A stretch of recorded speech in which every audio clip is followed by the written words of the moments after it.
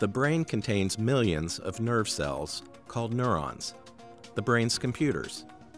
Neurons transmit information to each other by fibers that act as an information highway, trucking data from one part of the brain to another. Scientists believe that these highways, as well as the neurons, contain information about a person's abilities and predispositions. We call these biomarkers. Just like road maps, scientists are creating full-fledged brain maps.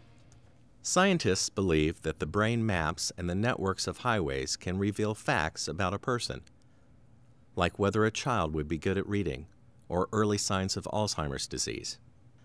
Accurate brain mapping could help tailor therapies to the individual person. Precision medicine is a new approach to personalized cure. Precision medicine. This is where one researcher at Indiana University enters the picture. Meet Franco Pestilli, Dr. Pestilli is a computational neuroscientist in the Department of Psychological and Brain Sciences at Indiana University. If we want to precisely treat individuals, we must first precisely diagnose what is special in each one of them. Pestilli is leading a team of researchers in developing brain mapping methods that predict aging by creating profiles of individuals who are in danger of Alzheimer's disease. Such individual profiles could identify risks and predetermine individualized treatment. A more individualized approach can help us improve the way we predict, diagnose, and treat a series of mental disorders such as Alzheimer's disease, schizophrenia, post-traumatic stress disorder, and ADHD. Pestilli and his colleagues created a software tool called Linear Fascicle Evaluation, or LIFE.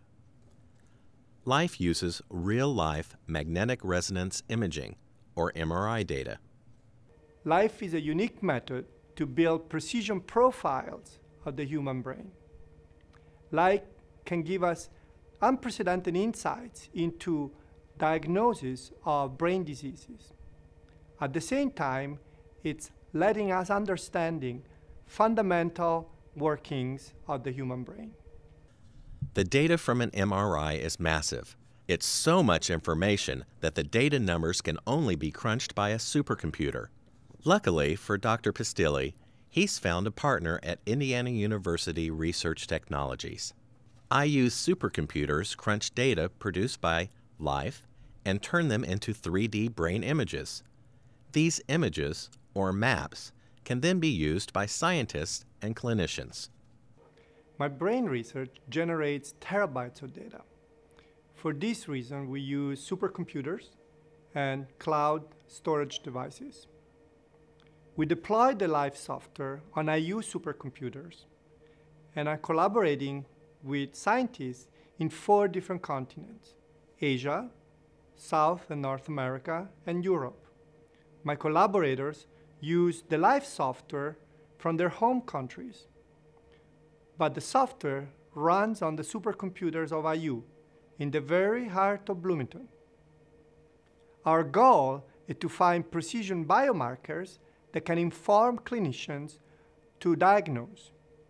The more precise the diagnosis, the more effective the treatment can be.